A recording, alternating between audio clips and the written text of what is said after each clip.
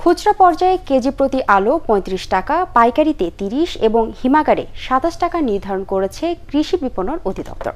ব্যবসায়ীদের স্বার্থে আলুর দাম পুনর্নির্ধারণ করা হয়েছে বলে জানিয়েছেন কৃষিমন্ত্রী আব্দুর রাজ্জাক। এছাড়া বিদেশ থেকে আলু আমদানি করার চেষ্টা চলছে বলেও জানিয়েছেন কৃষিমন্ত্রী। বিস্তারিত শফিকুল ইসলাম শামীমের রিপোর্টে। অনেকদিন ধরে আলুর দাম নিয়ে বিপাকে ক্রেতারা। আলুর বাজারে অস্থিরতার কারণে দাম নির্ধারণ করে দেয় সরকার। নির্ধারিত দামে আলু বিক্রি না করলে ব্যবস্থা নেয়ার কথাও বলা হয়। তবু বাজারের চিত্র উল্টো। তাই আলুর দাম পুনর্নির্ধারণ করল সরকার। কৃষিমন্ত্রী বলেন, বাজার নির্ভর করে চাহিদা ও সরবরাহের উপর। এজন্য আলুর দাম বাড়ানো হলো। এই বৃষ্টির ফলে শাক, সবজি উৎপাদন অনেক কমে গেছে এবং আলু আলুর উপরে নির্ভরশীল হয়েছে। নাহলে কোনোক্রমে আলুর দাম এত বেশি হওয়ার কথা না। এই ফিফথ মানে পঞ্চবারের মতো বন্যা হয়েছে।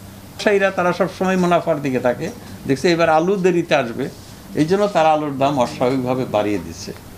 তো আমরা তো কৃষি মন্ত্রণালয় হিসাবে খোলা বাজার অর্থনীতি মুক্ত বাজার অর্থ আমরা তো ওইভাবে নিয়ন্ত্রণ করতে পারি না। সমস্যা সমাধানে আলু আমদানি করতে ইরানের সঙ্গে আলোচনা হয়েছে বলে জানান কৃষিমন্ত্রী। বাজার কঠোরভাবে মনিটরিং করা হবে দাম বাড়ার কোনো কারণ নেই উল্লেখ করে তিনি বলেন ভবিষ্যতে আলু রপ্তানির পরিকল্পনা রয়েছে সরকারের। মার্কেটিং ডিপার্টমেন্ট আমাদের বাজারজাতকরণের অধিদপ্তর যেটা তারা একটা দাম নির্ধারণ করেছিল সেটা পঁচিশ টাকা। এবং সেই দামেই বিক্রি করার জন্য বাজারেও তারা বেশ প্রচেষ্টা চালিয়েছে, সেটা অনেকটা, সেইভাবে সফল হয় নাই। এবং আজকে আরও এমন হয়েছে যে এরা আরও থেকে আলুই বের করছে না, আরও দাম বেশি।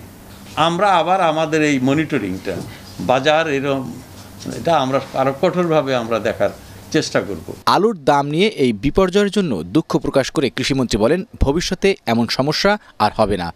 শফিকুল ইসলাম শামেম, এটিএন বাংলা, ঢাকা।